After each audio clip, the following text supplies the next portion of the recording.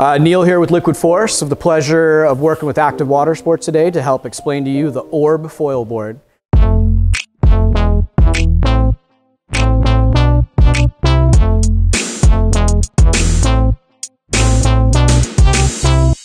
So the Orb foil board is a very high-end product that we make specifically for your more advanced riders.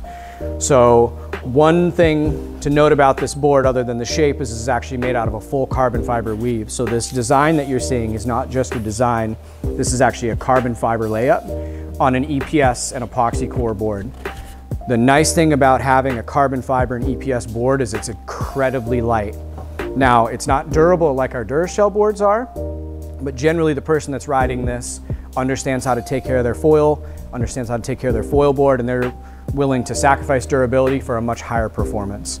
As you get better and better at foiling, the lighter things become, the more responsive they become. So as you start pumping this thing and turning this thing on foil, having a lighter, more responsive board will feel much better underneath your feet. The shape itself is a very dished out bottom. So we only have a flat spot from about here to here. All of the rest of it is chined rails and then a pretty good kick in the back tail. And so what that allows this board to do as you're foiling, if you were to connect with the water, these chine rails, instead of grabbing and turning the board, are gonna bounce off the water and keep this thing up on foil. Same with the pulled in tail. As you start pumping this thing, if you were to accidentally touch the tail to the water, it's more likely to still lift into the air than it is to catch and lay itself back down. We package our carbon fiber board with a 28 inch carbon fiber mast. This is a monocoque design, so it's just one piece all the way through, and it's significantly stronger and significantly lighter than the alloy version of a mast, which is why we package it with our carbon fiber boards. We wanna have all of our carbon light feel mashed together.